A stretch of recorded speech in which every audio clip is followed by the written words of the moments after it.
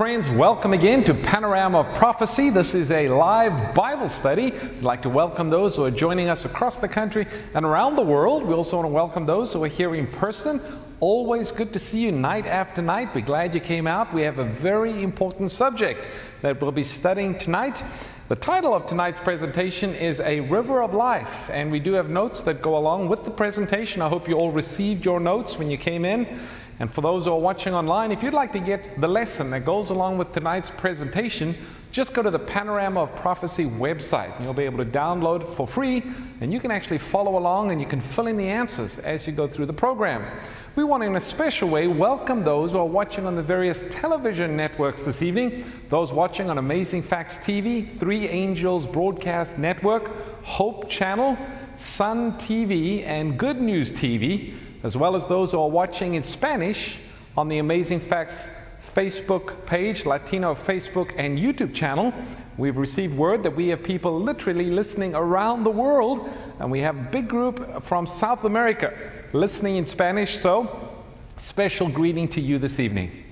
Well, in addition to tonight's program, we need to tell you that tomorrow morning we have a bonus program, very important presentation. It's going to be at 11 a.m. Pacific time.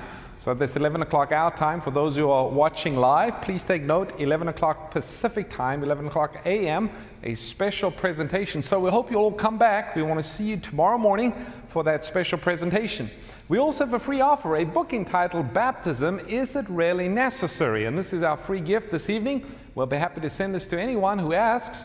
Just text the word baptized to the number 40544 and you'll be able to get a digital download of the book. If you're outside of North America, again, just go to the Panorama of Prophecy website and you'll be able to read the book for free right there. It's called Baptism Is It Really Necessary? Well, again, welcome. We are so glad you are here. We're excited about tonight's study.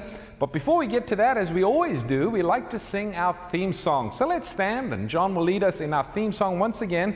It's Lord, help us to know your will. Lead me into truth.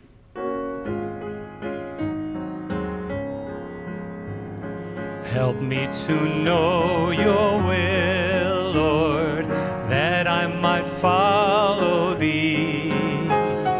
Make me to hear that still small voice tenderly calling me. If wind and waves stop mountain, still. Give me the mind of Jesus. Show me the truth that frees us. I want to do what pleases you, so help me to know your will. Lord, please help me to know your will. Dear Father in heaven, again, we thank you for the wonderful opportunity to be able to open up your word and study this very important subject this evening. And so, as we always do, we'd like to invite the Holy Spirit to come and guide our hearts and our minds, lead us into a clearer and a full understanding of this important subject that we find in the Bible. For we ask this in Jesus' name, amen. amen. Please be seated. Again, we try to take as many Bible questions as we can. We want to thank those here who wrote in your Bible questions. If you have a Bible question, just write it down on a piece of paper, give it to one of our volunteers here in the auditorium. For our friends who are watching online, you can post your question at the Panorama of Prophecy website, or if you're watching on YouTube or Facebook, you can just type your question right there in the comment section, and we'll try to answer as many as we can. So tonight, again, we want to invite Pastor Doug and Karen Batchelor, and they're going to be leading the questions this evening. Thank you, Pastor Ross.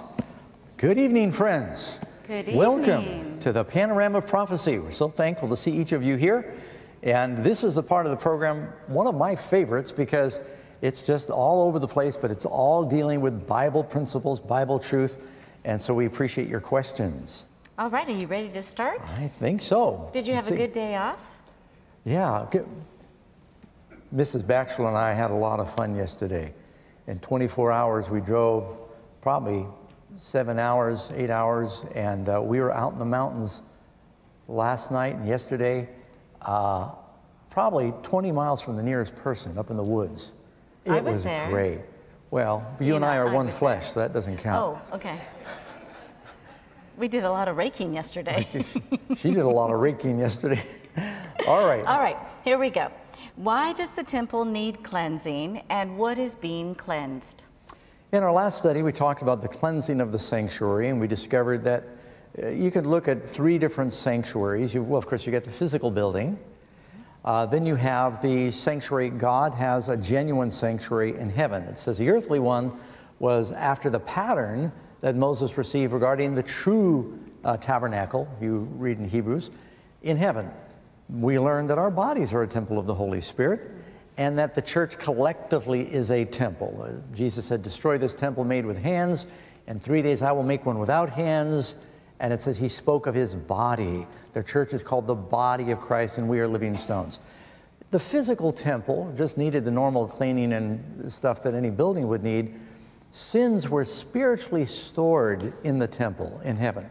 And they were transferred from the person when they confessed their sins on the head of the, the goat or the lamb or the, the oxen. And then it was brought in. They'd take some of the blood and they'd sprinkle it before the Lord.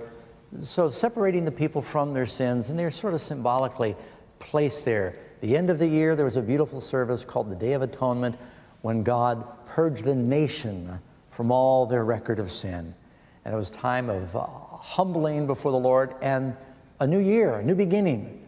And that's part of our lesson tonight, new beginning. So, and then when Jesus cleansed the earthly sanctuary, they'd gotten into, uh, they turned the temple into a flea market. And you know, there are some churches today that spend more time talking about um, buying and selling than they do the word of the Lord. And so uh, I think if Jesus was here today, there'd be some uh, cleansing of the tabernacle again. What was in the most holy place after the temple was rebuilt by Ezra and Nehemiah? What represented the mercy seat?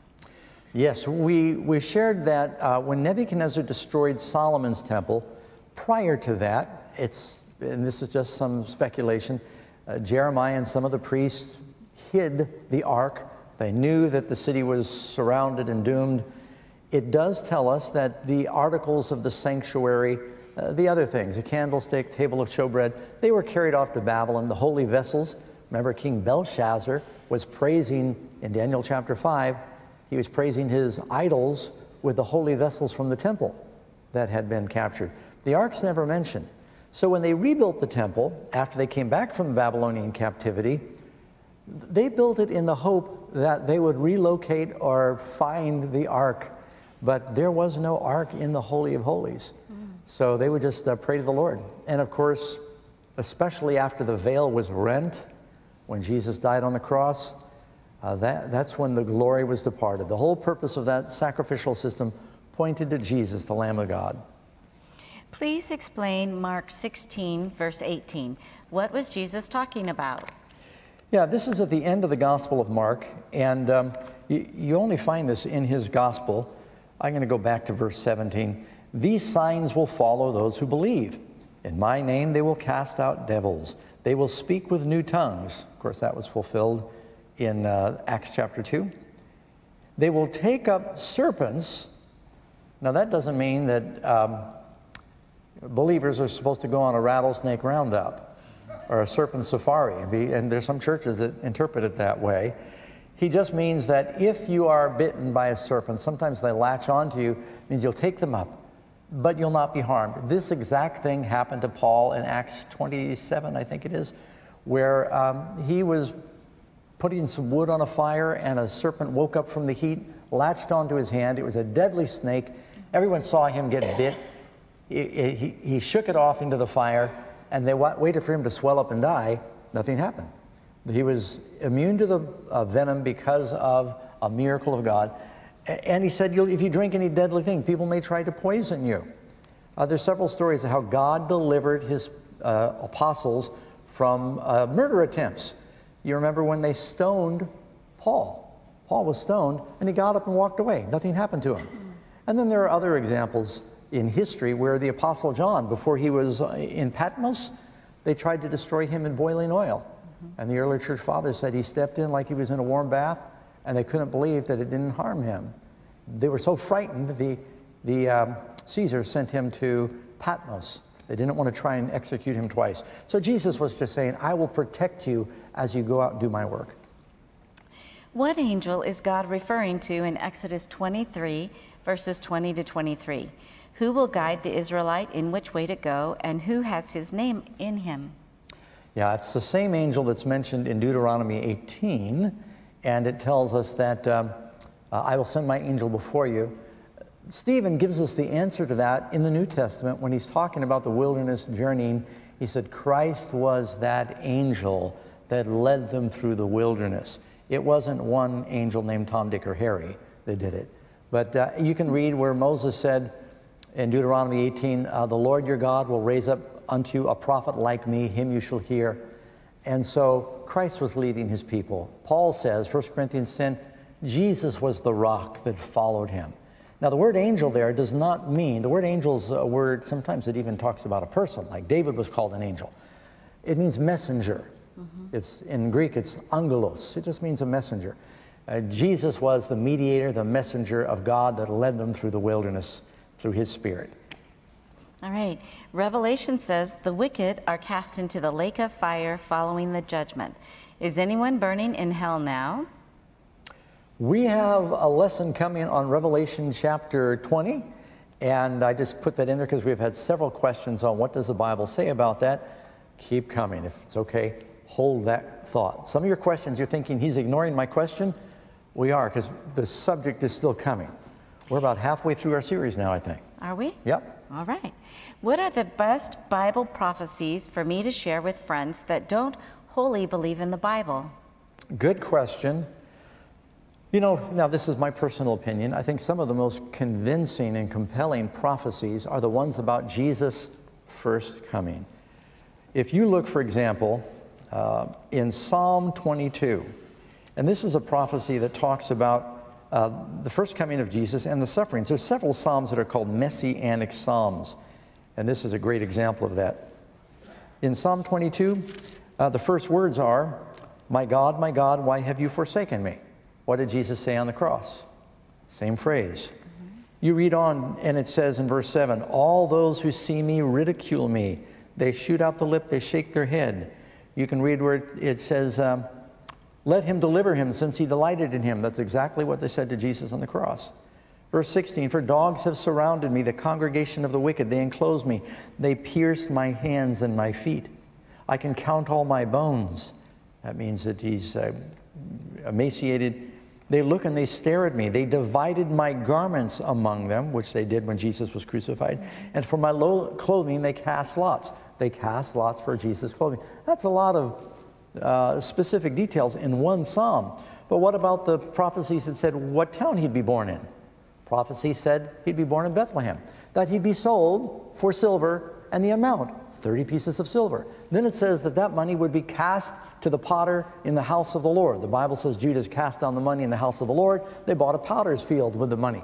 And you just go on and on through the prophecies about Christ's first coming that he'd be betrayed by a friend, about he riding into Jerusalem on a donkey. Mm-hmm. So you get a list, you can find it online really easy. Prophecies of Christ's first coming, and there's like 50 prophecies. It's very specific. We know from the Dead Sea Scrolls these were written before Christ lived. Yes. And they all happen so uh, precisely that I think that would strengthen the faith of someone who doubts the inspiration of the Bible. Amen. All right. In Genesis 7, verses 2 and 3, the Bible says that you shall take with you seven each of every clean animal, a male and his female, two each of the animals that are unclean, a male and his female. Also, seven each of the birds of the air, male and female, to keep the species alive on the, um, on the face of all the earth. Does that make 14 clean animals? Uh, of the clean animals, yes, that would be 14 pairs. But uh, seven pairs. Uh, yeah, yeah, seven pairs. Sorry, 14 total. Thank you. But um, the the thing to keep in mind is, first thing Noah did uh, after he the ark landed if you can use that term, uh, is that he offered sacrifice. You are only supposed to offer clean animals as sacrifice. Nowhere in the Bible does it say they offered a vulture or a skunk or an unclean animal to the Lord. You don't offer a dog or a pig That's what the enemies of the uh, Jews did when they captured the temple. They offered a pig in the altar to um, outrage them, yeah, to desecrate it. Um, so some animals, like goats, sheep, oxen, usually they operate where you've got one bull and he's got a little harem. It's, they don't pair up like doves do. And so some of the males uh, were probably offered as sacrifice afterward. The other thing that happened is all the vegetation had been destroyed. And that's the first time you find man was really using animals as food. In the Garden of Eden, what was the food? Adam and Eve were vegetarians. You realize that? Fruits, vegetables. Are, are some of you worried about heaven now? Do you know you'll be a vegetarian there? No Big Mac, no nuggets. It's you're all going to be a uh, tree of life and good things. So there's 14. 14 animals. All my life, I thought there were just seven clean. Yeah, I know, pairs. All right. Two times seven. It's so much fun to learn new things, huh? Are we to daily strive for holiness? Can one obtain holiness on this earth? God will never ask you to do something if it can't be done. And the Bible tells us in holiness, pursue peace, in uh, Hebrews rather, pursue peace with all men and holiness without which no one will see God. Jesus said, blessed are the pure in heart, for they shall what? See God. See God. God is calling us to holiness. Now, when we say that, some people get frightened and think, oh man, I've got so many problems. Holiness means that um, you've got a life where you're consecrated to do God's will when you know God's will. Mm-hmm. And there's a learning process. But Christians are not just forgiven, He transforms us. Amen. And if you're a thief, He'll help you stop. If you have a problem with the drugs or alcohol, He can give you the victory. He did for Amen. me. So you'll never convince me God can't change you. All right. Please explain why James, the brother of Jesus, is, the, is older than Jesus. Yes, uh, that one of those last books in the New Testament is the book of James. This is not James, the brother of John the Apostle. This is James, the brother of Jesus, and he was an older brother. Now, stay with me. Um, most people don't realize what most scholars do understand is that Joseph's probably had a family before he married Mary. A wife had died. Jesus' brothers, it mentions four brothers by name, and it says sisters. Doesn't tell us how, how many, but it says two. It must be two to have sisters. Um, they're never mentioned. Well, first of all, when Jesus is on the cross, who does he uh, commit his mother's care to? To John. The Apostle John. Why not one of her, if it was her kids, why not one of them? It would have been considered disrespectful if Jesus was the oldest for the firstborn son to leave the family business and go out and become an itinerant minister. The firstborn sons always sort of took care of the family business. And um, so, uh, for, for that reason and several others, the other thing is Joseph must have been a little older than Mary because you realize once Jesus begins his ministry, many believe Joseph had died at that point. It always talks about Jesus. Sometimes she brought her stepchildren with her to talk to uh, Jesus. Joseph is never mentioned again following Jesus' 12 year old foray into the temple. All right. So he was a blended family. Yeah, it was, yeah. Probably jo Joseph had been married younger and had some children. His wife died, and then he married Mary. So your Christmas cards where you see Joseph and Mary and the little baby going off to Egypt, you got to add in about six other kids into that picture. If there are two tribes of Israel that were from Joseph's sons, Manasseh and Ephraim, wouldn't that make 14 tribes instead of 12? Can if you, you also, yeah. explain this discrepancy? If you also add Joseph as one and then his sons, that would add up to 14. But 50. quick story uh, is when Joseph was sold by his brothers, he was separated from his family in Egypt for about 30 years. When reunited, Jacob said, I am going to now count your two sons as members of the tribe in your place. You get two lots. So Joseph is no longer counted until you get to Revelation chapter um, 7. Uh, instead, it was Ephraim and Manasseh. Well, that would make 13 tribes. If you got 12 sons of Jacob, they, were, they had one sister named Dinah. You have 12 sons of Jacob. And then he says, I'm going to also split Joseph so he gets, it's going to be two. Then you got 13, because it's instead of Joseph, it's Ephraim and Manasseh. But then after the Mount Sinai incident with the golden calf, Levi was faithful when much of the rest of the children of Israel, they followed after this golden calf. God said, Levi are going to be the priests for the rest of the nation. They will not get an inheritance because I want them to scatter like salt all around the land of Israel, the promised land, and be the teachers of the law for the people. It says, Your inheritance is me. I am your inheritance. So now, when they counted the 12 tribes, they counted the 12 tribes Ephraim and Manasseh and Issachar and Zebulun and Dan and Naphtali, so forth. And Levi was a priest for all of them. So that's how you got the number 13. But that's how you get 12. Yeah, 12 is, is counting just the sons of Joseph uh, as two. Right, and okay. But you don't count Joseph then. No. How do we Did know? that make sense? It was a little some of you were-. Okay. Yeah, it was a little convoluted, but that's Okay. okay. How do we know that the Protestant Bible is the right one compared to the Catholic Bible that has more books in it? Did the Catholic Bible um, exist first, and why were these books eliminated from the Bible? Yeah, good question. Uh, the, the, there's a difference between the Catholic or Douay version and most Protestant Bibles. Now, all of them have the same number of books in the New Testament. Uh, the Catholic Bible has seven additional books that are considered by Protestants apocryphal or doubtful books. Now, there's some books that Catholics also think are doubtful that people have applied to be included in Scripture.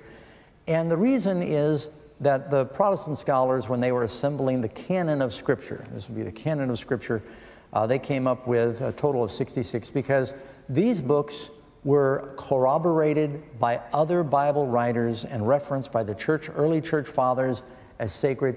Some of the apocryphal books, like 1st and 2nd Maccabees, and that's not so bad, as Baruch and, and Tobit and some of the other books, they appear, they're never referenced by any other Bible writer or father, and they seem to be some of them of a dubious origin. So they thought they'll probably play it safe. Maccabees probably has some good, accurate history in it. But not every, you realize not every book is considered uh, sacred or a holy book to be part of the Bible. Okay. Did Job live after or before the flood? Job, yeah, I remember hearing a pastor, he preached a sermon on Job, the book of Job. It was a really good sermon, but I could see he was a self taught pastor, but it's really actually a very good sermon. But I, I kept thinking about the book of Job. anyway, Job is a real character. It says he lived in the land of Uz, a perfect and an upright man that feared God and hated evil. And um, we, we look at the different names of the characters, and it appears that Job and his friends were descendants of Edom. They were descendants from uh, Ishmael. And because some of those very names, uh, like Eliphaz the Temanite, uh, Bildad the Shuhite, uh, they're mentioned other places in the genealogies. It also, you look at how long Job lived, people during that time were still living 150 plus years, which is about the amount of time that Job lived. So we believe in the land of Uz, it was probably uh, in the land of um, what you would call, you know, south of Edom or south of uh, right now. The climate was different back then. That's why you had all these flocks and herds, because it was past, beautiful pasture land back there. The, the climate there changed. Well, land of Israel is called land flowing with milk and honey. You go there now, it's a land of rocks. Yep. But they're sort of resurrecting it. It's actually, they're doing quite a bit with agriculture there. All right. So this is our last question. Okay. What is the right response if your wife asks you, How do I look? And unfortunately, she doesn't look flattering. Do you lie or do you tell the truth? Is that a called loaded question? I put that in there. No, I didn't. You know, Jesus said, uh, There are many things I have to say to you, but you are not able to bear them now. I would always say, amazing, because that good could be taken any way, right? I know better than to even ask that question. So you look lovely, dear, and I'm telling the Thank truth. you. All right. Well, tonight we're going to be blessed by a beautiful rendition of How Long Has It Been by Pastor John Lomacang and Kelly Mowrer. How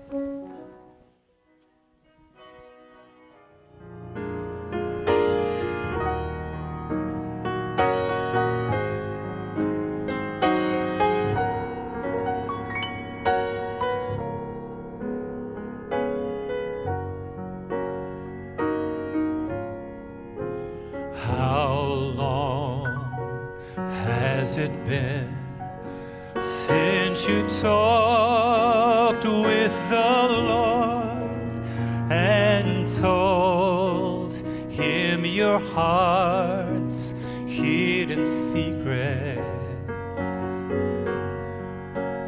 How long have you prayed and how long have you stayed knee till the light shone through?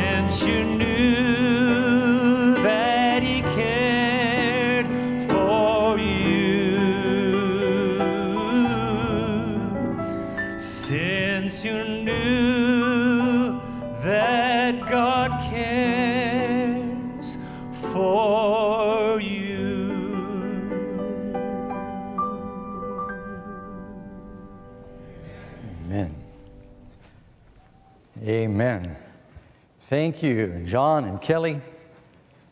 The Lord cares for you. Amen. Welcome, friends, to the Panorama Prophecy.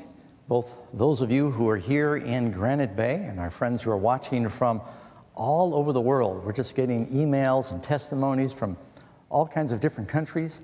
Some people have taken it upon themselves to translate the messages in different languages for groups, and we're just so excited about the, um, the impact of God's Word. Our lesson today is a very important subject. It, it may be one of the most important. And some of you are going to think, Pastor Doug, are you pulling a fast one? Why are you dropping this subject into a prophecy seminar? As we uh, move on, I think you'll understand why it belongs and why it's so important. The lesson title is The River of Life. And I would like to direct your attention to a story that you find in the second book of Kings. Second Kings chapter 5. It tells us about a character. He's an Assyrian by the name, or Syrian by the name of Naaman. And it says Naaman was a mighty man with his master. He was a valiant man. He's well known. He was successful. And by him the Lord had given deliverance to Syria. Wealthy man, courageous. He was the general for the king. But at the end of that first verse, it's got uh, five words. It says, But he was a leper. Everything changes. I mean, what profit is it if you gain the whole world and you're dying of a deadly contagious disease for which there is no cure? He was wealthy, he was strong, had a great reputation. It says he was an honorable man. Everyone in town knew him. But one day he came down with this terrible, dreaded, contagious disease of leprosy. The Bible often compares leprosy to sin, you may know. Well, eh, the story goes on to tell that Naaman bought a slave girl that worked in his household. He's a wealthy man. And she had been captured from Israel. This little girl, she had probably heard the story of Joseph, how Joseph found himself a slave in a foreign land. And he said, Well, if I'm going to be a good slave, God's got a reason for me to be here. I'm going to trust the Lord. If God was able to use Joseph in that capacity, then perhaps he can use me. And when she found out that her master had leprosy, she said to her mistress, she said, For if he, Naaman, would go to Israel, the prophet there, Elisha, would heal him of his leprosy. See, Elisha had a double portion of Elijah's spirit, and there's no record in the Bible of anybody coming to Elisha with a problem except he helped them and often performed incredible miracles. Well, you know, when you're dying, you're desperate, and you'll even believe the story of this young girl. Elisha had never healed anyone of leprosy before. But Naaman said, You know, there's hope. There's a great prophet in Israel. We've heard about him. And, and this Jewish girl says that if I go there, that he can heal me of my leprosy. The king says, I don't want to lose you. You're my best general. You're a great man. I'll send millions of dollars in healing money or reward money for the prophet, and I'll send some soldiers with you. Go down there and be healed. So Naaman goes down to Israel, and they'd often been enemies, so it's kind of an odd request. I mean, here Naaman has been the general who has attacked Israel. Uh, there's this brief period of truce. So he goes down there and gives a message to the king of Israel that says, um, King of Syria sent a message to the king of Israel I've sent Naaman, my servant, unto you so you can heal him of his leprosy. King of Israel said, What? What am I now, some faith healer? Well, word came to Elisha what had happened. He sent a message to the king of Israel. He said, Send him to me that you may know that there is a prophet in Israel. And so Naaman comes to the house of Elisha the prophet, but Elisha doesn't even come out. He sends out his servant, Gehazi, and he's got a very short, simple message Go and wash in the Jordan River seven times, and your flesh shall be restored to you again, and you will be clean. Now, uh, evidently his leprosy had advanced, which says your flesh will be restored. He may have already gotten to the stage in his leprosy where sometimes you can lose digits or piece of them through injury, and, and it was pretty far advanced. Naaman says, Wash in the Jordan River. Well, the Jordan River was not the best river in the world. Uh, matter of fact, in the summertime, the Jordan is like a series of stagnating pools. Now, what is implied when someone says, go wash? What are they telling you? You're dirty. What, what is implied if someone says, go wash seven times? Some of you, when you were kids, your parents said, go take seven baths. When sometimes you may remember the days where family would draw a bath and all the kids would use the same water. Nobody wanted to be the last one in. But you always put the dirtiest one in last, right? Some reason I always got last into the bathtub. But what does it mean if someone tells you to take seven baths in a dirty river? The Jordan River, it's either green or brown. It's very rare, rarely clear. And when Naaman heard that, I mean, he was expecting the prophet to come out and go through some incantations and say, you know, magic words and he'd be healed, or ask him to do something like climb a mountain and go kill some other enemies, or and he says, go wash. And it offended his pride. Here he's brought millions of dollars in gold and silver and clothing to pay for his healing. I think someone once calculated it was over $52 million in gold and silver had been sent by the king to heal Naaman of his leprosy. And he says, Go wash. Well, he had just ridden by the Jordan River on his way to Israel. I'll see, he's so mad, he turns his horse around, he begins to gallop off, and he said, The Bible says he left in a rage. He said, Are not the rivers of Damascus, Abana, and Pharpar clean, cleaner than all the waters in Israel?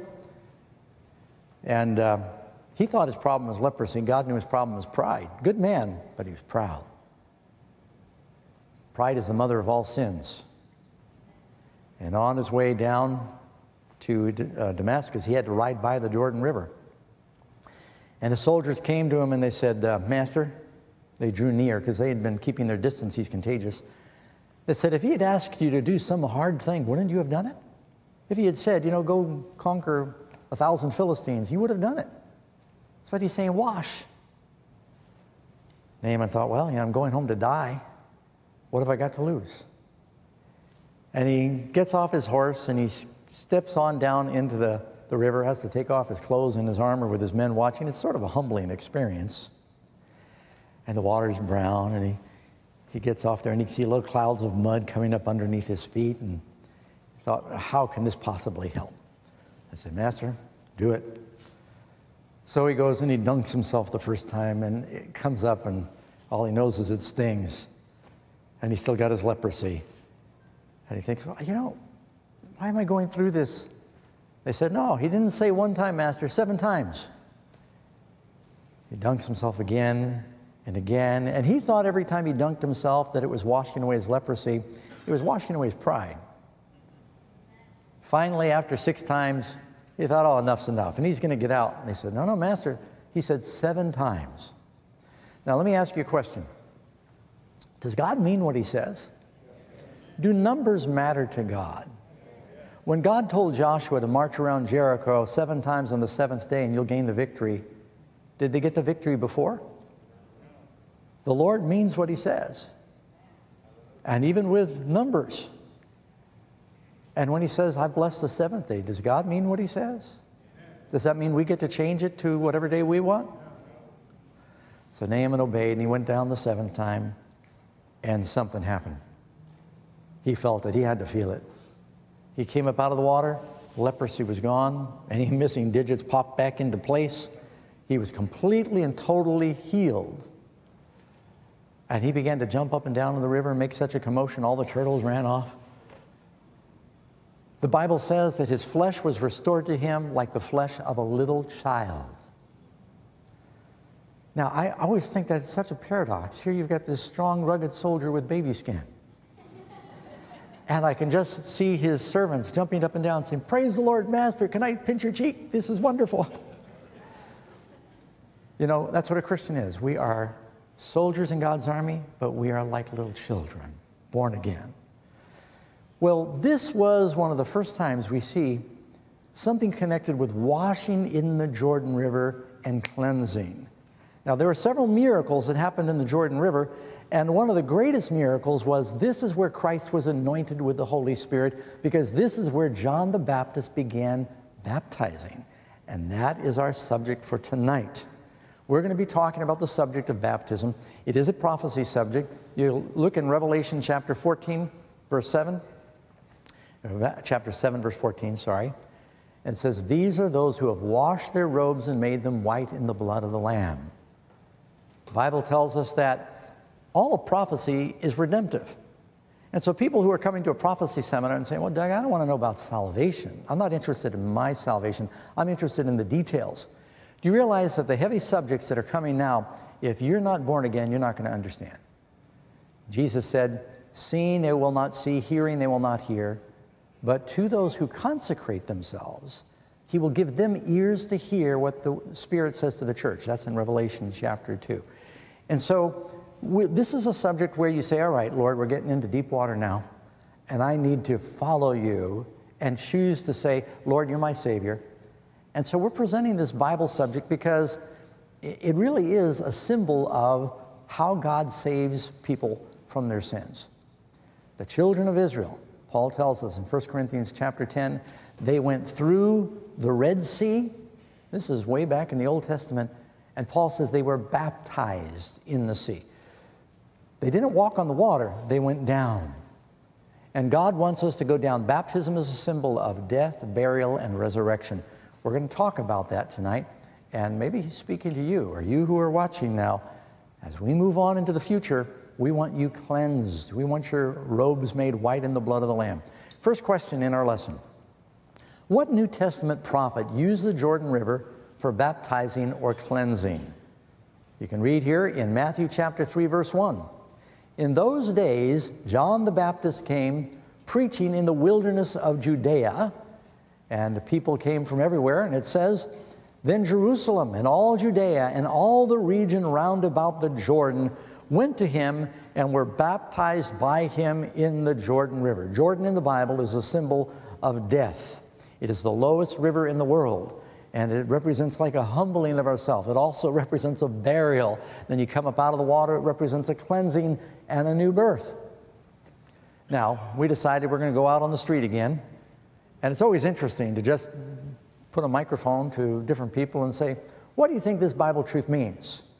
And get their reaction. So we're going to do that now and do our what we call our man on the street or woman on the street interviews. Um, baptism is is really just an example of uh, letting letting go and uh, accepting Jesus as your Lord and Savior. Uh, that was like specifically uh, directed to what we should do. It's dedicating your life to Christ you're going to really walk with the Lord, I think baptism is a way of stating your seriousness and that you really love Him and you, you acknowledge you're a sinner and that he's, He gave you salvation.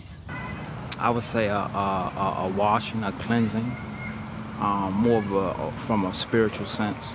Being born again, born in Christ, um, starting a new life and journey with Jesus. Uh, just a new beginning, new start. Uh, like a refreshing of mind, basically washing away of your own sins, your old sins, and uh, um, you know, feeling reborn or uh, giving yourself the ability to move forward in life too.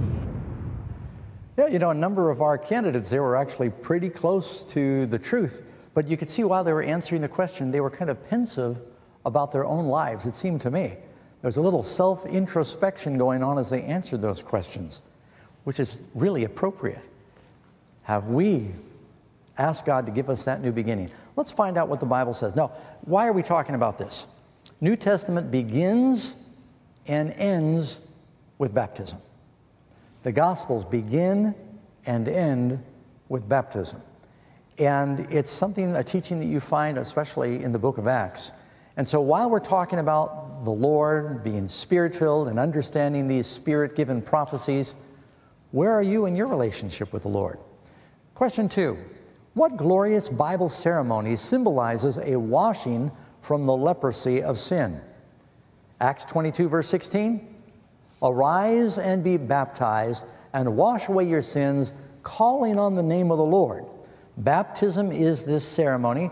And John the Baptist, of course, was baptizing. Someone was asking, Is this the. Um, is this the first time baptism is mentioned in the Bible?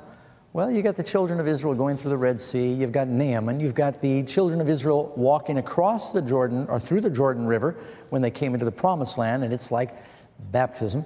And um, the Bible says you must be born of the water and born of the Spirit. And so there's these two baptisms that happen. You've heard of being baptized in the Holy Spirit, and the water baptism is something that is a symbol of cleansing. Third question. According to the Bible, how many different kinds of baptism are acceptable? Well, the Bible says in Ephesians 4, verse 5, there is, you see it on your screen there? How many? One Lord, one faith, one baptism. Not only does that mean there's one truth that we are baptized into, there's really one method of baptism in the Bible. But um, there's lots of different methods practiced in the world today. Now, as we found out, there's a lot of churches that are sort of drifting away from the clear commands of the Bible, and we start doing things that maybe are more culturally accepted or convenient. But God wants us to follow His word. Man doesn't live by bread alone, but by every word that comes from the mouth of God. There's a counterfeit for just about every, every truth of God, the devil's got a counterfeit. There's a counterfeit Holy Spirit out there, a counterfeit gospel, counterfeit Sabbath, counterfeit tongues, counterfeit baptisms. The devil confuses people with all of his counterfeits. And a lot of people have sort of changed it. But the Bible says, how many baptisms? One Lord, one faith, one baptism. Is the Lord important? Is faith important in the gospel? Is baptism important? According to the Bible writers, they gave it a priority. Question number four What's the word baptize mean? The word baptism It comes from the Greek word baptizo, and that simply means to dip, to immerse, to plunge. You can find it in Greek literature where when they were dyeing cloth, they would take these big vats of purple or red dye and they would plunge the cloth under so that the, the dye would sink into all the fibers and saturate things and it would be adequately baptized or submerged. And so the Bible's pretty clear the method of baptism that Jesus experienced, that John the Baptist practiced, practiced that Naaman experienced, was where they were immersed. The Lord wants us to be immersed in Him. He wants us to be completely cleansed. It's not just, you know, washing your hands. It's a total consecration, and baptism represents that. That's why you read in Colossians 2:12, buried with him in baptism, in which you were also raised with him through faith in the working of God who raised him from the death. Baptism is compared to a, a death, a burial, and a resurrection. If uh, I tell you to go out in the back 40 of the ranch and bury a bag of garbage, and uh, I come out the next day and garbage is scattered all over the yard from raccoons and bears. And I'll say, Did you bury it? And he said, No, I went out and sprinkled a little dirt on it, but sprinkling and burying, what's the difference? Does it make a difference? Does the method make a difference? Please listen carefully to this. When we get away from what God says, these sacred symbols, there's only a couple of sacred rites in the Christian church the Lord's Supper, what we call communion, and baptism. Well, you could add marriage, but that's an, that even goes back to the Old Testament. But the New Testament, you've got the Lord's Supper and you've got baptism. The devil really hates them. One example I'll give you is a pastor said, Well, the bread and the grape juice, the bread and the wine, they are symbolic of the body and blood. And since they're symbols, why don't we do something more interesting in our church? For the Lord's Supper this week, we're going to have Coke and hamburgers. He said, It's just a symbol. We'll say the same prayer. Now, is it only me, or does that start sounding sacrilegious? You lose the meaning when you get away from the precise teaching that God gives. And that's happening in so many different areas of the Christian faith. And so we're going to talk about what the Bible specifically says. What you do with that is up to you. But I'll tell you right now, before we're done tonight, I'm going to give you an opportunity to respond. I'm going to make an appeal because there's nothing more important than that. You know, if we have a production like this and we're teaching the Word, and we're not inviting people to respond to the main message of the Bible, which is accepting Christ, having their sins washed away, receiving eternal life, becoming new creatures, then all of this is a waste of time. Because what good is it when Jesus comes if you are biblically educated sinners? Isn't that right? What good will it be if you're lost? The most important thing is that you accept the salvation that the prophecies talk about. Jesus is our example. How was he baptized? If you're a Christian, you follow Jesus. What, what does the Bible say about him?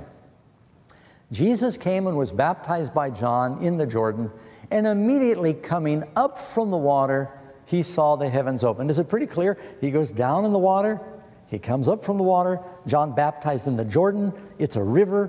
You can also read where the Bible says that he baptized in Salim because there was much water there.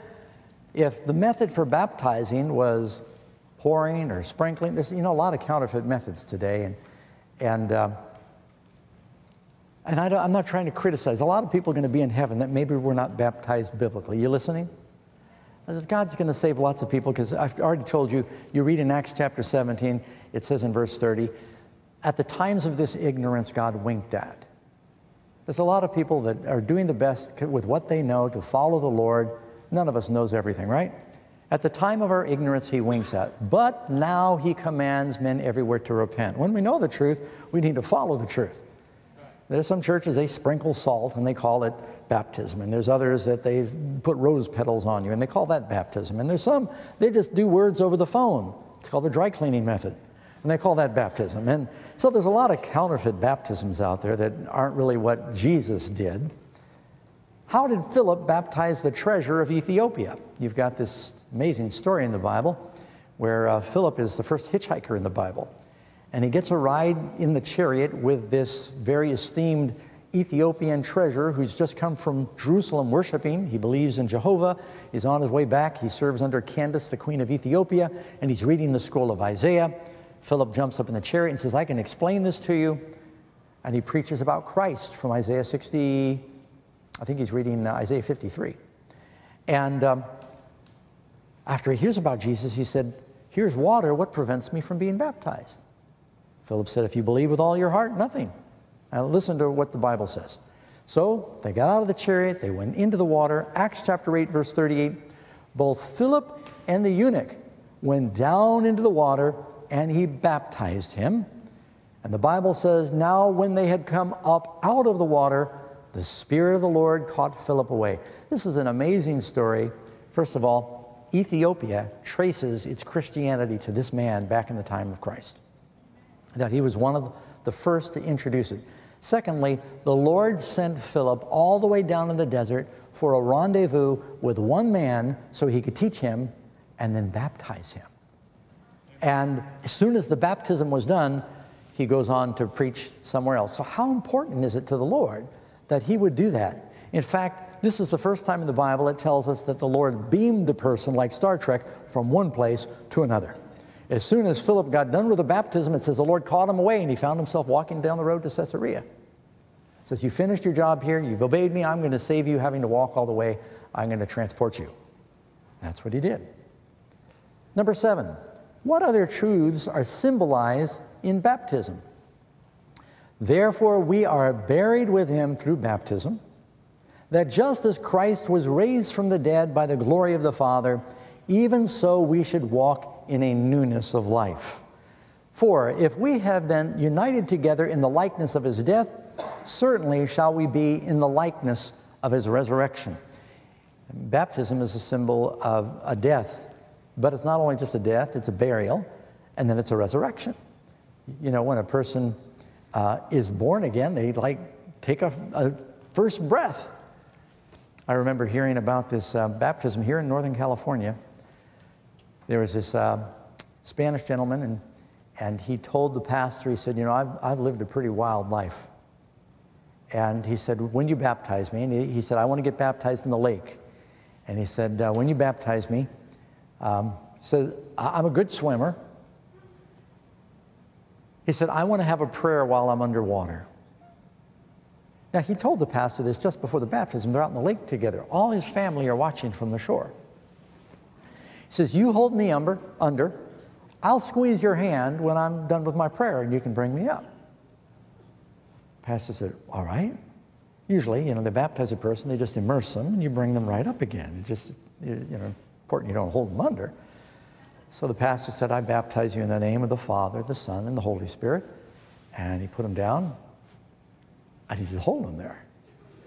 And people on the shore are shifting back and forth, and they're wondering if they're going to charge out in the lake and attack the pastor, or what's he trying to do, drown him? And then he, he squeezed his hand, he brought him back up again. Then he explained to everybody, I, I wanted to just have a prayer while I was underwater.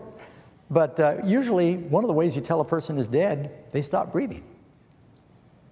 And so, at least for that moment that you hold your breath while you're underwater, it's like, I'm dying to my old ways. When a baby's born, it comes out of an envelope of water and it takes its breath.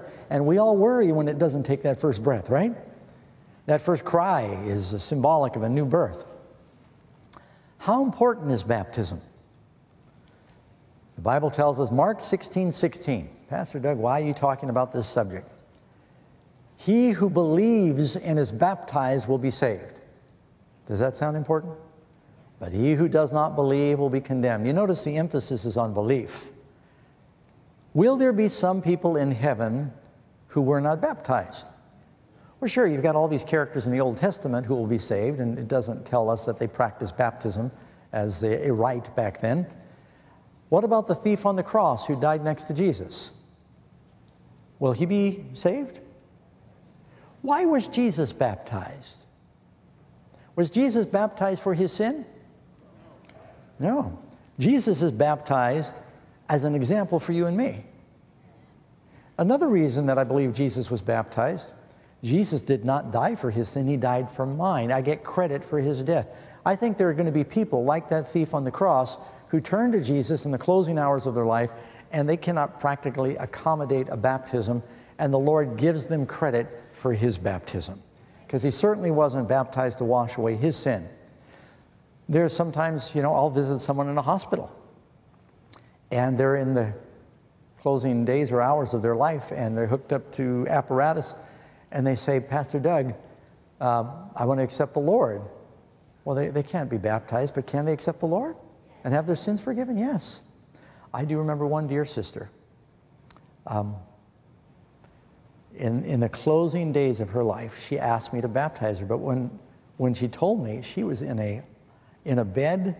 She was down to like 60 pounds, and she was never going to make it to a church. And she said, Oh, please baptize me. Please baptize me. She understood from reading the Word. She'd just been reading the Bible as she was dying from cancer. And I said, What can we do? She said, My bathtub. And her son picked her up. She didn't weigh anything and we baptized her in her bathtub. And I've never seen such peace as I saw on her face. And so sometimes you, you, there's extraordinary things. I've been to prisons before where people get baptized in a horse trough because they say it's important to follow what Jesus teaches. It's that important. They go to great lengths. But some people, they're on death row. They come to Christ. They can't be baptized. Jesus will give them credit for his baptism. Third reason Jesus was baptized is to show you and me what to expect when we are baptized. But I'll elaborate on that a little more in a few moments. Is it important? Listen to what Jesus said to Nicodemus. Unless one is born of the water and the Spirit, he cannot enter. That's pretty absolute. He cannot enter the kingdom of God. Well, we all know being baptized and born of the Spirit is important, but is being born of the water? Some people say, well, Pastor Doug, that's not talking about baptism. That's talking about physical birth when a baby's in that envelope of water and the water breaks and then they're born. Unless you're born of the water. Now, wait a second. You're saying that means unless you're born of a woman and born of the Spirit? Why would Jesus say that? Question How many here were born of a woman? Just. Anyone not born of a woman? I mean, these are strange days we're living in now, so you don't know. So why would Jesus say something so redundant? Of course, everyone's born of a woman. He's not. He's, the Gospel of John starts with John the Baptist. And then you get to chapter 3, and he tells Nicodemus, unless you're born of the water and of the Spirit. He said, Now, what's the difference? You and I cannot pick the time when God's going to baptize us with the Holy Spirit. We can ask. But he does it. Sometimes he does it suddenly. Pentecost, it says suddenly. You and I can choose when we are baptized by water. Baptism is like a, a, beautiful marriage where you want both parties to participate in the choice. And so it's basically saying, unless you are born of the water, your choice, and born of the Spirit, my choice, you cannot enter the kingdom of heaven. When the children of Israel came out of Egypt, the Bible says they went through the Red Sea, baptized in water, and God sent a pillar of fire, they baptized in fire. Water baptism, fire baptism, new person, new nation. When they came out of that water and they were baptized in the cloud of fire, they became a new nation. You know, even our world is getting both baptisms. The days of Noah, the world was washed with water. Peter says this next time it's not going to be water, but the heavens will dissolve with a great noise and the elements will melt with fervent heat. The earth and the works in it will be burned up. Next time he said it's going to be baptized in fire. And then God will make a new earth so even our world is going to go through both baptisms before it's made new. You need both baptisms as well. What blessed ceremony can be compared to baptism? I already gave you a little peek into it. It's a symbol of like marriage. And you can read in Galatians 3:27, "For as many of you as were baptized into Christ have put on Christ." It's, in, it's like putting on the wedding garment. Now, baptism is as important to a Christian as a wedding is to a marriage. Typically, though there's exceptions, baptisms are public. Most people want others to know about their wedding. Uh, love must be involved. Faith must be involved. It's a, it's a consecration, it's a commitment.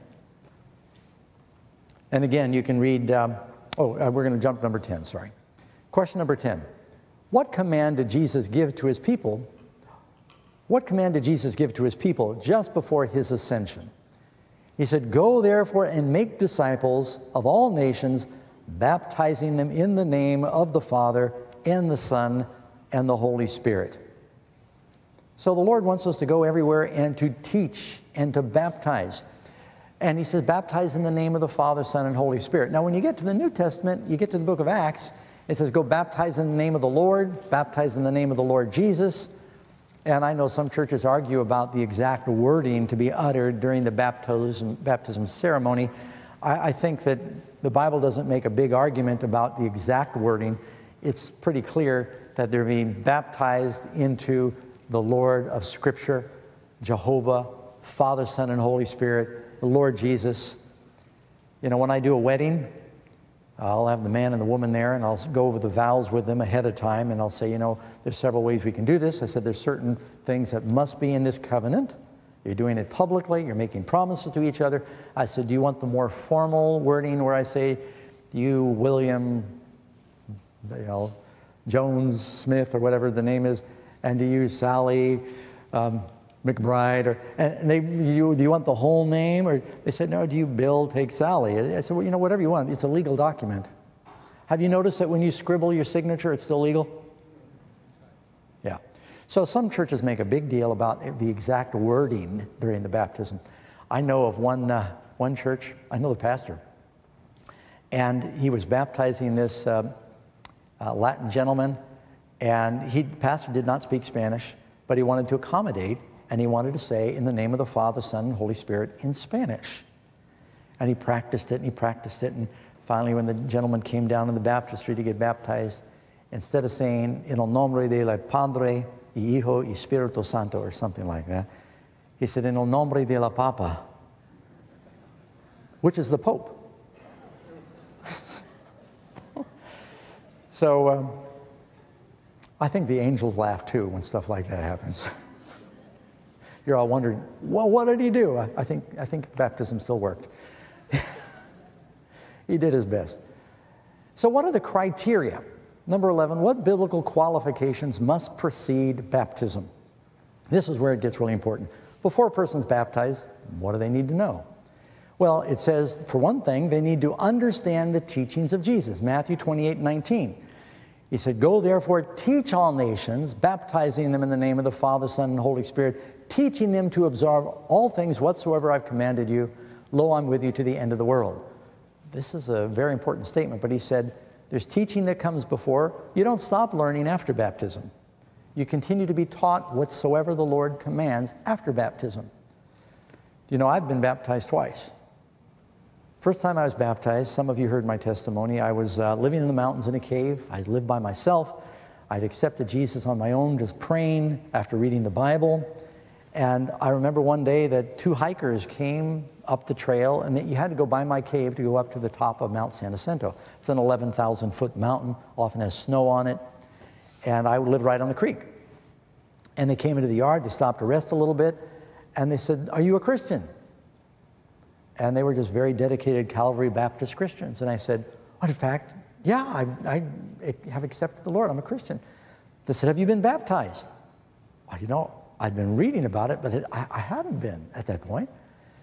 They said, You need to be baptized. And they quoted two or three of these scriptures about the importance of baptism. I said, Yes, I'm convinced. So one of them took me off in the water outside my cave. I had a deep pool and a waterfall. It was a beautiful place. And he took me off, and, and it was melted snow. And he took me off in the water, and we both courageously went down. I came back up again. I can promise you, I felt born again. And uh, as soon as they got done baptizing me, they went hiking up on the trail. They were rejoicing they got to baptize me. And I thought, this is great. I'm a Christian now. I got to go tell my friends. So I went down to Palm Springs and I got together with my friends. I said, let's get some beer and celebrate. I got baptized today.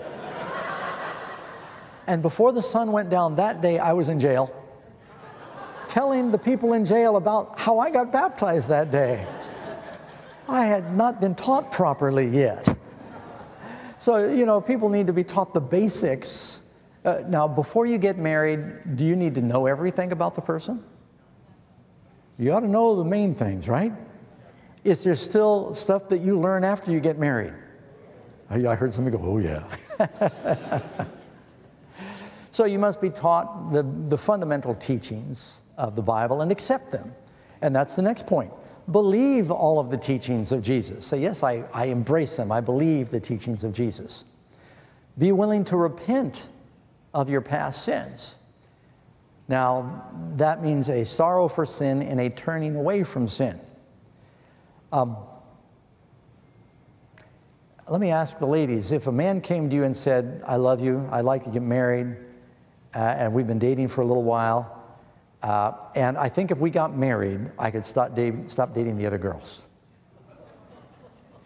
What would you say to a proposal like that? Crazy.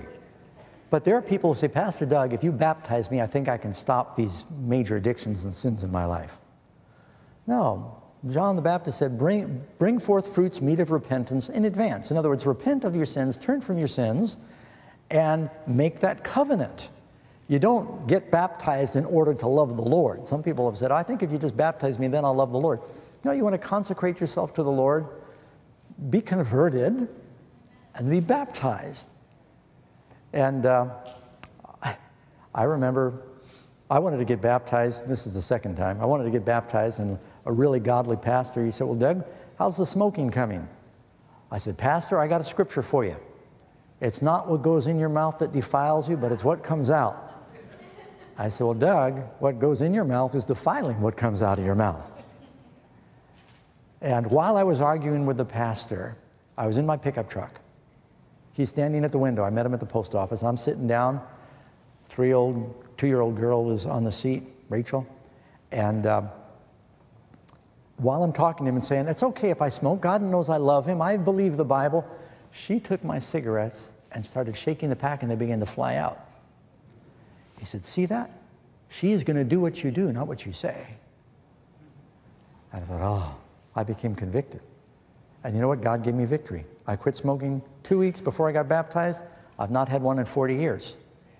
The Lord, but I, I made the decision. Quitting smoking is easy. Mark Twain said, I've done it a hundred times. no, but I quit and I stayed quit. Repent of your past sins. Repent and turn.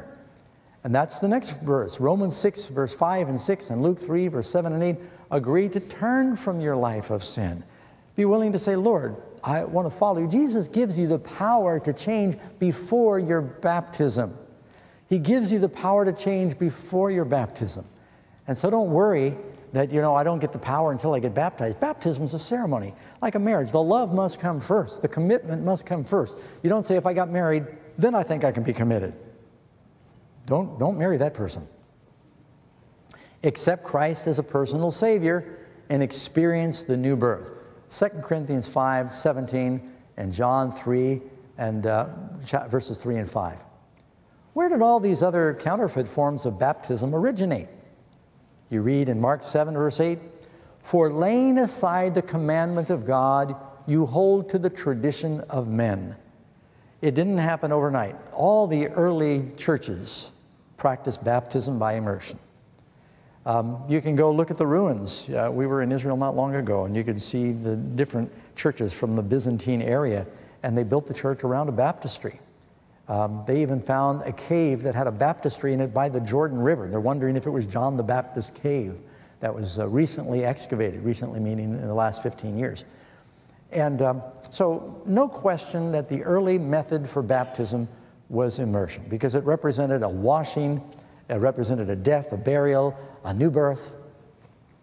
But over time, people start changing things for convenience. Sometimes someone would be sick and they say, well, they got to get baptized, but they can't go and get baptized. So they dip a sheet in the water and then they wrap them in the sheet and they say, well, this is like baptism.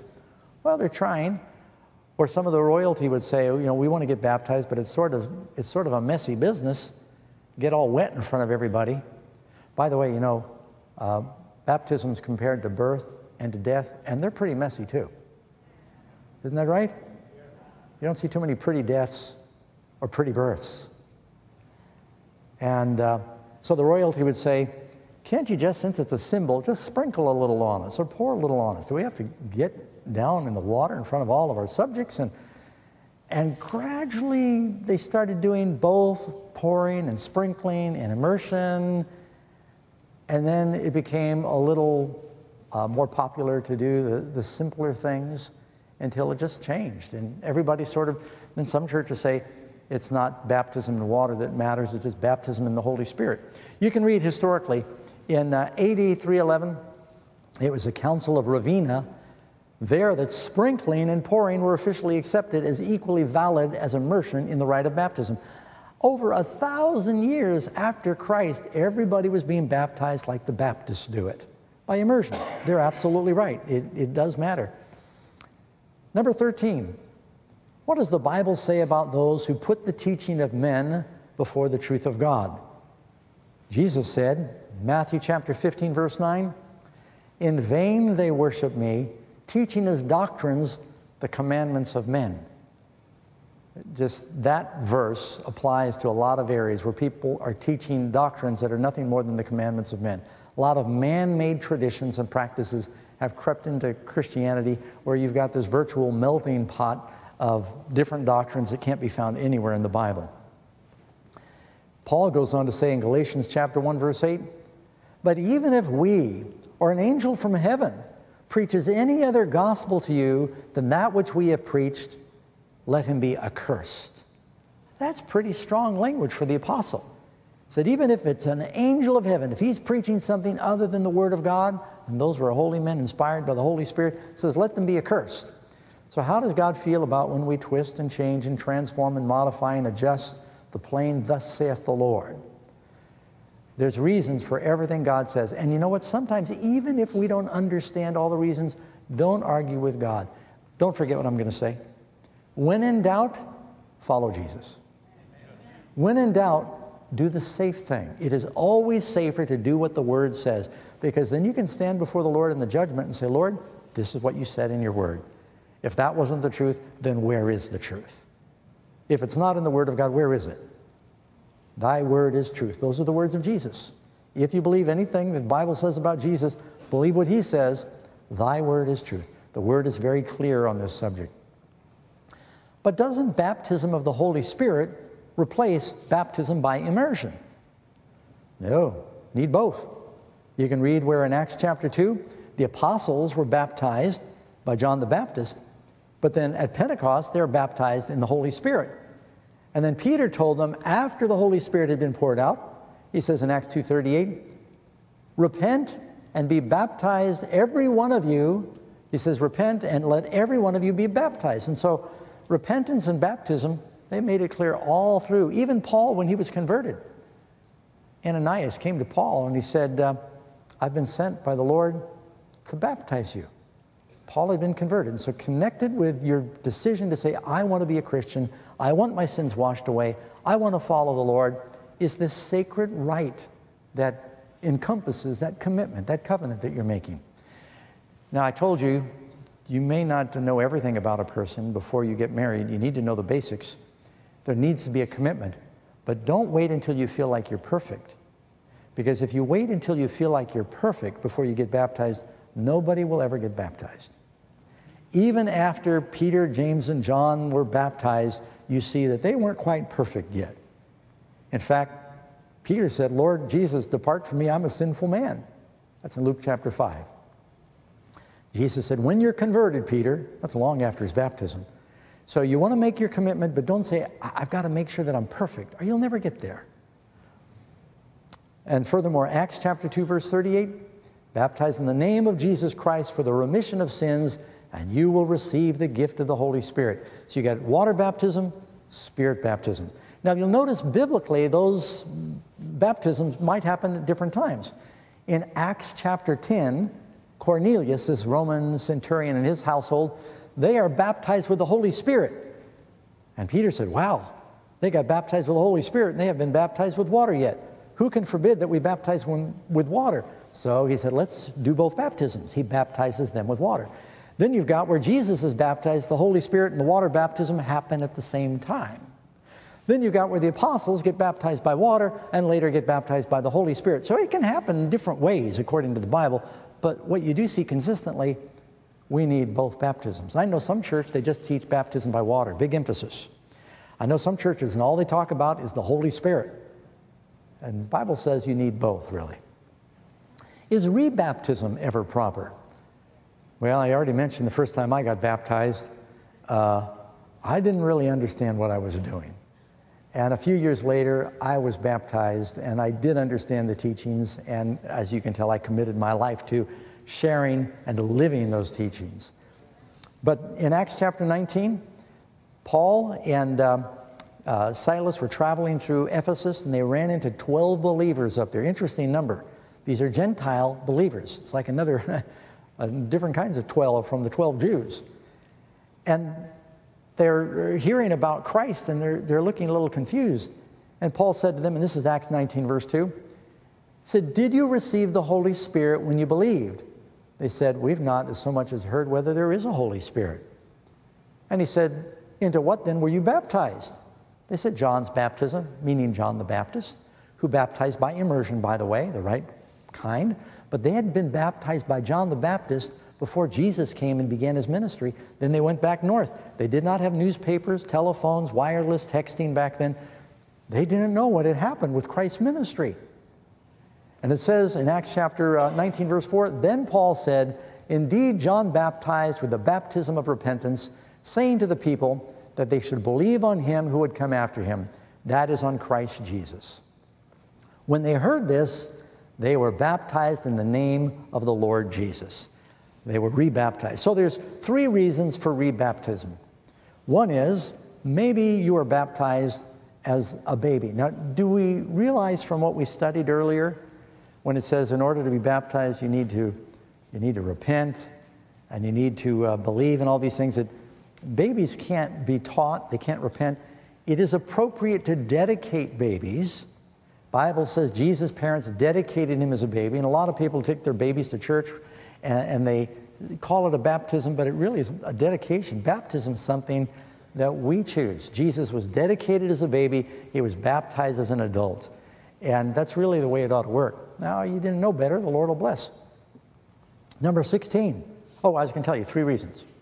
Get, uh, rebaptism is for, if you weren't baptized biblically, sprinkling or pouring or some other method that is not immersion. If you were, um, uh, you, like I said, you may be baptized as a baby and you didn't know what these things were, or you come into a whole new understanding of what the truth is. I heard about a Baptist pastor. He came to some meetings like this. He learned the Sabbath truth. And he said, I want to get rebaptized. And we said, Well, you're a Baptist. You were baptized by immersion, right? He said, Yeah, but I've been baptized into nine commandments. I want to get baptized into all ten. And so, like these Ephesian men, he was rebaptized. And the third reason is if you've backslidden from the Lord, you, kind of divorce yourself from the Lord. I'm not talking about missing church for a week. You know, God has, God has the communion service for us to get our new beginning. But um, you need to be remarried if you've you know, gone into a far country like that prodigal son. You may talk to the pastor about rebaptism. Is baptism connected with joining a church? Then those who gladly received his word were baptized, and that day there were 3,000 souls added to them. You are baptized, you need to be part of a church family. A baby lamb that is born and left out in the woods without a shepherd and a flock is an easy prey for the wolves. And uh, ladies, what would you say to a man that said, I love you, I've stopped dating all the other girls, I want to marry you, but do we need to live in the same house? Would you say, What? Something wrong with your commitment. And so when you're baptized, some people say, I want to get baptized. I don't want to join a church. Well, the Bible doesn't have any other option. It says we are baptized into Christ, into his body. You can read in Acts chapter 247, praising God and having favor with all the people and the church, and the Lord added to the church daily those who are being saved. The ones being saved were added to the church. Church is the body of Christ. We all have different parts and gifts and, and talents that we bring together. Colossians 3, verse 15, you were called in one body we're to come together. And yeah, I know sometimes that people might be a challenge, but that's where you learn to love, right? Uh, were there imperfect people in Jesus' church? Did he have a Judas? And would you have joined Jesus' church back when he walked the earth? So don't wait until you feel like there's the perfect church. He wants us to be part of his family. We, we get our nurture there. And it goes on to say, and he is the head of the body the church. 1 Corinthians 12, verse 13. For by one Spirit we are all baptized into one body. Number 17, if I refuse baptism, whose counsel am I refusing? Luke 7, but the Pharisees and the lawyers rejected the will of God for themselves, not having been baptized by him. Whose counsel are we rejecting? They rejected the counsel of God when they said they didn't want to be baptized by John the Baptist. This is not the teaching of Pastor Doug or a church. This is the teaching of the Word of God. And it's pretty clear, you would think the last statement of Jesus, go therefore teach and baptize, should be a first priority for Christians or people who want to be Christians. When Jesus was baptized, what did his father say? You can look here in Mark chapter 1, verse 9. It came to pass in those days that Jesus came from Nazareth of Galilee and was baptized by John in the Jordan. And then a voice came from heaven saying, You are my beloved Son, in whom I am well pleased. When we are baptized, God adopts us. He says we are His beloved son or daughter, and He is well pleased. How many of us want to know that God is well pleased with us? He looks upon us as though we have never sinned and all of our sins washed away. Now, I told you that um, we're going to encourage you to make a decision tonight. And I'd like to have our, uh, our ushers here that have volunteered give a card to every person, if you would. And you also have this available if you're watching online and you look at the Panorama of Prophecy website. I'm going to invite you to make a decision that could be measured in eternity tonight. You know, the Bible tells us one day a man filled with a leprosy came to Jesus, and everybody shrank back because he had this terrible, ugly, contagious disease. But Jesus stayed there, and he knelt before Christ and he said, Lord, if you will, you can make me clean. And Jesus said, I will. He not only said it, he reached out and he touched him, and he was healed from his leprosy. It was a miracle.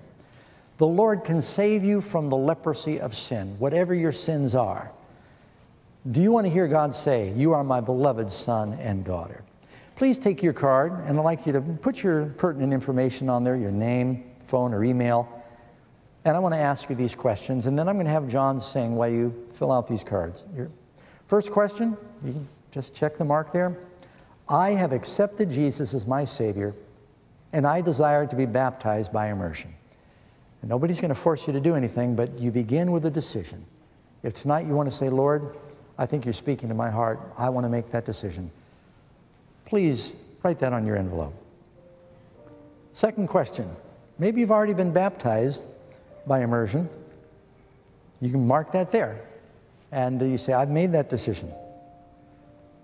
Question number three I was baptized by immersion, but I've drifted away and I'd like to consider being rebaptized.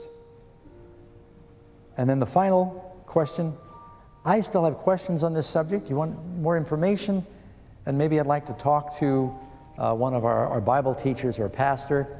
We want to pray with you. You know, this is the most important thing. Jesus said, Go, teach, baptize.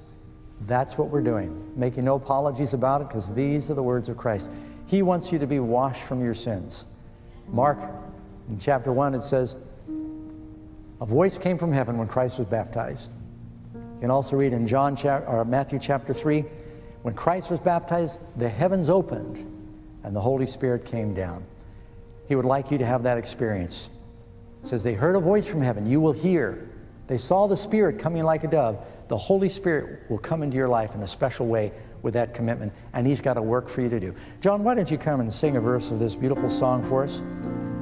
as you pray and you fill out your cards. There is a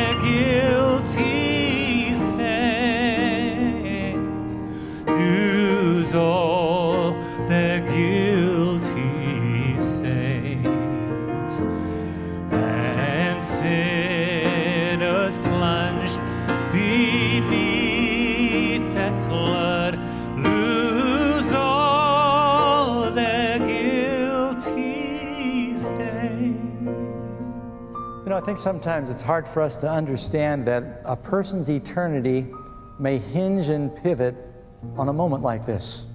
Everything can change when you say, Lord, I feel the Holy Spirit is tugging at me right now, but I'm afraid and you're hesitant. This is where you have a step of faith. And you say, Lord, help me. I believe, but I have doubts. Help my unbelief. Some of you, I think, are in that valley of decision. Some who are watching, the Lord is calling you to make your decision now. I'd like to encourage you to make that decision now. Matter of fact, let me pray, and I'm going to have John sing one more verse of this song. Loving Lord, I believe there are titanic spiritual cosmic battles happening right now. And I pray you'll send your spirit and your angels to gain victory in the hearts of these people that are trying to make the right decision. Encourage them, Lord. I pray in Christ's name. Amen. If you've not made your decision, you can do it now. John, another verse.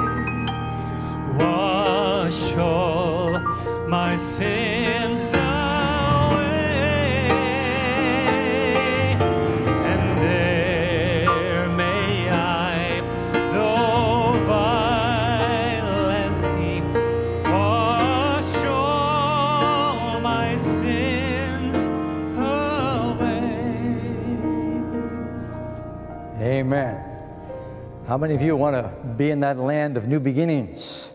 God wants you to have that new birth, to have your sins washed away. And I pray that you'll all make that decision tonight. For those in our local audience, please return your cards to your ushers. We want to pray for you and help you follow up in that decision. Those who are watching, let us know. Go to the panoramaofprophecy.com website if you've made your decision. We think this is such an important study right now because in the lessons and the subjects that are yet to come, we want you to understand and we need to consecrate ourselves right now to have that understanding. I'd like to pray with you as we close. Loving Lord, thank you so much for your presence, that Jesus did come to wash away the leprosy of sin and give us a new beginning. We accept that now. In Christ's name we pray. Amen. I look forward to seeing you in our next presentation tomorrow. We're going to talk about the final firestorm.